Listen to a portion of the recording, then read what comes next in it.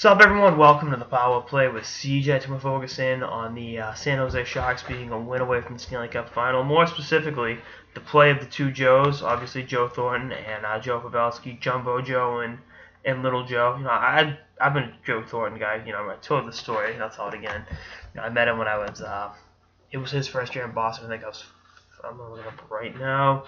I was six years old, and uh, my dad he was signing autographs down the down the rink in my neighborhood and my dad took me down to get an autograph, and uh, he was sitting next to Stephen Lynch, who's now our, our congressman uh, in the United States Congress. He was like a state representative or something at the time. And uh, I gave my hockey stick to Steve Lynch because he was like 35. I figured like he was the hockey player, and the kid next to him was his son. And my dad told me no, the guy next to him is Joe Thornton. And I said no, he, he can't be. He's only a teenager. And uh, Jumbo, Jumbo got a laugh out of that. So I made Joe Thornton laugh as a as a five year old. So that's going on my resume. But you know, and I've given him a lot of heat over the years. You know, mainly going back to 2014 collapse against the Kings, where it's like, eh, you know, could think should he, things have gone differently in that series? Yeah, they should not have blown a three nothing series lead.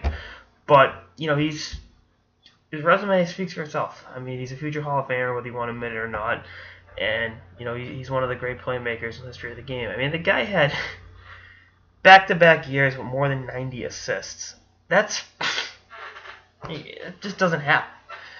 And you know, this year, 82 points in 80 game in 82 games as a 36 year old, 17 points in uh, 17 playoff games.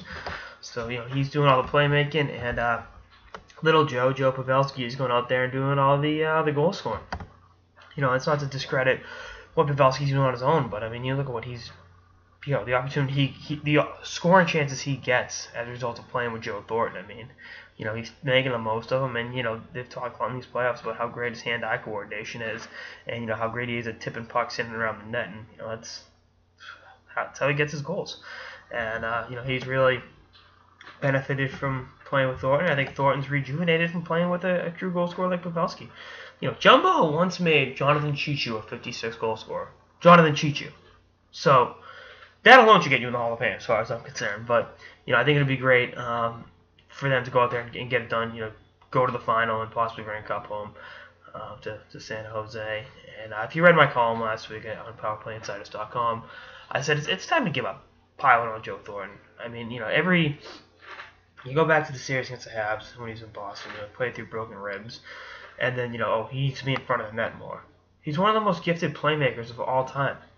So he should be in front of the net because you, a columnist, say so. Says so. Really? So you know, again, if he uh, if he wins a cup, I think that would uh, go right up the breezeway more than a few you know know-it-all hockey writers in Boston. But we'll see how it all uh, shakes itself up.